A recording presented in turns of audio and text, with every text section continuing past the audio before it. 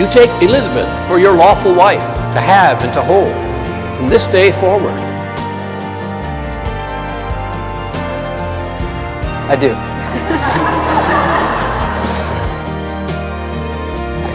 Elizabeth, do you take Daniel for your lawful husband to have and to hold from this day forward? I do. Ladies and gentlemen,